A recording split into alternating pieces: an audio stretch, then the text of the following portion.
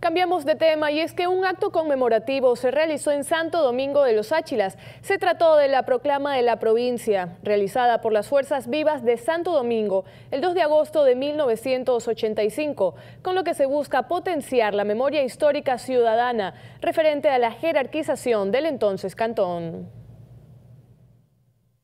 El evento contó con la presencia de autoridades, líderes comunitarios y algunos coprotagonistas del suceso de aquel entonces. La prefecta Joana Núñez se refirió al legado histórico que han dejado y que se institucionaliza en la provincia de Santo Domingo de los Áchilas. Gracias por todo ese esfuerzo y ese trabajo que realizaron hace décadas atrás.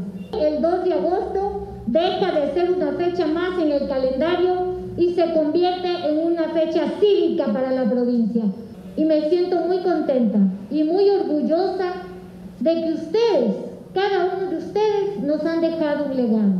El exalcalde y presidente del segundo comité de provincialización, Víctor Manuel Quirola, destacó importantes datos. Tenemos que aprender a estimular, agradecer y hacer eh,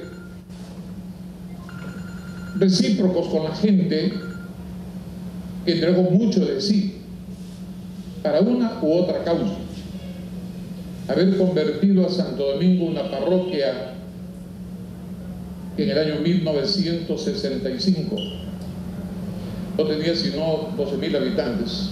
Las autoridades recordaron el acontecimiento efectuado hace 35 años, por lo que a los precursores los llamaron locos, por concebir sueños que el tiempo se encargó de hacer realidad.